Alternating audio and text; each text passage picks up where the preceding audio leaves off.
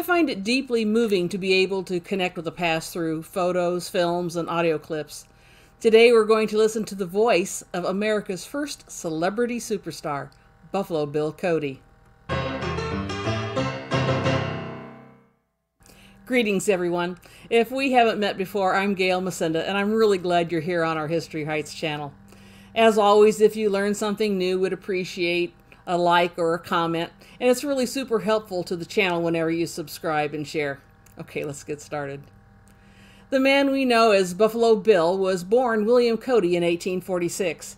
He is best known today for his exhibitions he called Buffalo Bill's Wild West. On April 20th, 1898, just days before the Spanish American War began, Cody made a voice recording called Sentiments on the Cuban Question. In it, he urged Americans to support the U.S. government intervention in Cuba. On April 23rd, Spain declared war on the United States, and on April 25th, United States declared war on Spain. Even at 52 years of age, Cody planned on joining the war effort, but was in the midst of his season of the Wild West. Before he could get things arranged to go to Cuba, the war, which lasted not quite four months, was already over.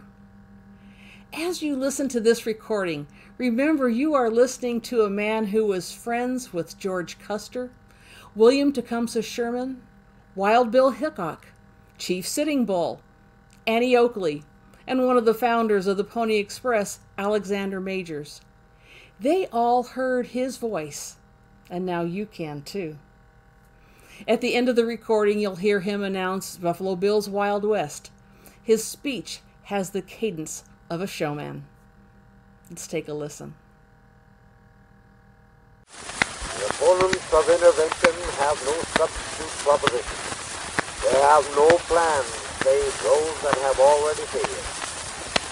If the government were guided by their advice, butchery, devastation, and barbarity would become permanent social conditions in Cuba.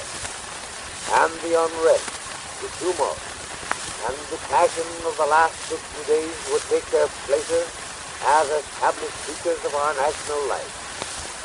No man who is not willing to hear about the hideous crimes in Cuba, to read the war speeches of single senators, and look upon the war headlines of the yellow journals every day in the year for the remainder of his natural life, has any right to oppose intervention in Cuba unless he submits an effective plan for the permanent abatement of these nuisances, which, in the language of the President, have become intolerable. There is one more consideration. Any American who finds himself unable now to support the President in his proposed policy towards Spain shows himself to be perfectly content that this country should exhibit itself in the attitude of a nation that will not fight for its peace and safety, for its honor and self-respect, or in the performance of the duty imposed by humanity and civilization. Ladies and gentlemen, permit me to introduce to you a Congress of the Rough Riders of the World. That's pretty amazing, isn't it?